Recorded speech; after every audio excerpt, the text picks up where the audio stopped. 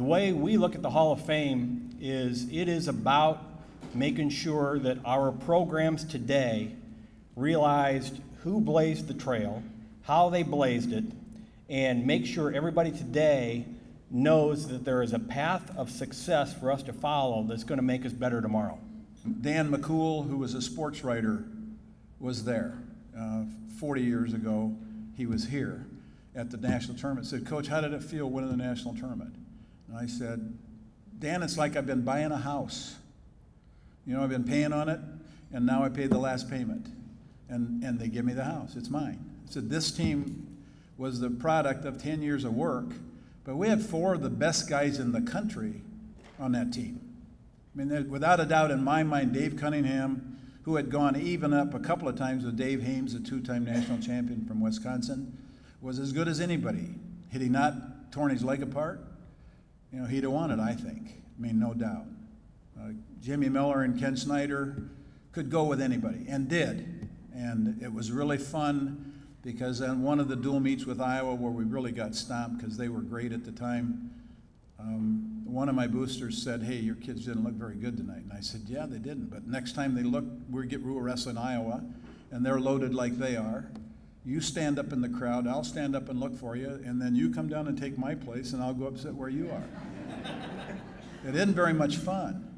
But these guys, these two guys, could go with Brad Smith and Steve Hunt and Iowa's national champion guys, and did.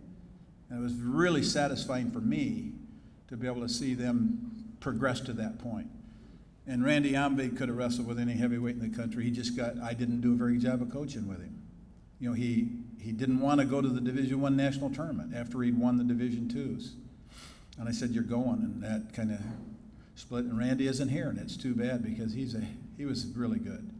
And I'd like him to be able to hear that from me now that I've grown up to be able to understand it.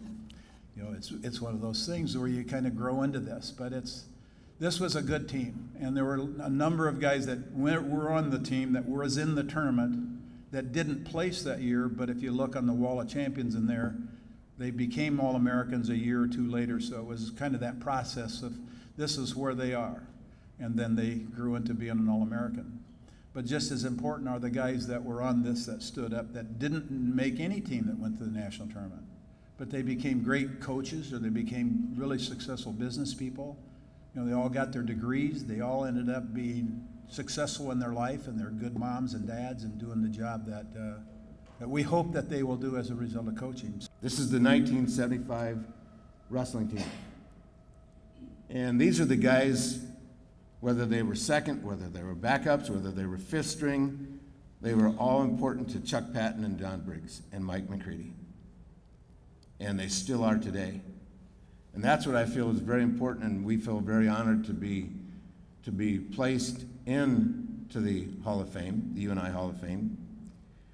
But a little bit of history, last three, three things, and then I'll get off the stage. In 1975,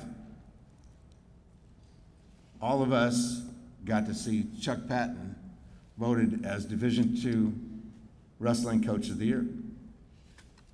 In 1975,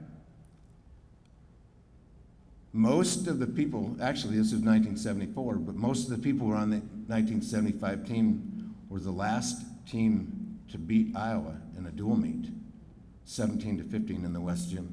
And I don't think there's anybody here that was there will ever forget the noise and the pandemonium that went on in the, in the West Gym. It is a family, and it's like it stays with you, and it just, it'll never go away.